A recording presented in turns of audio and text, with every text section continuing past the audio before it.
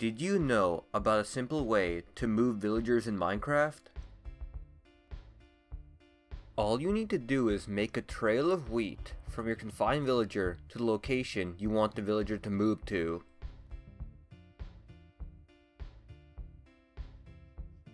Release the villager and it should follow the wheat trail to your desired destination.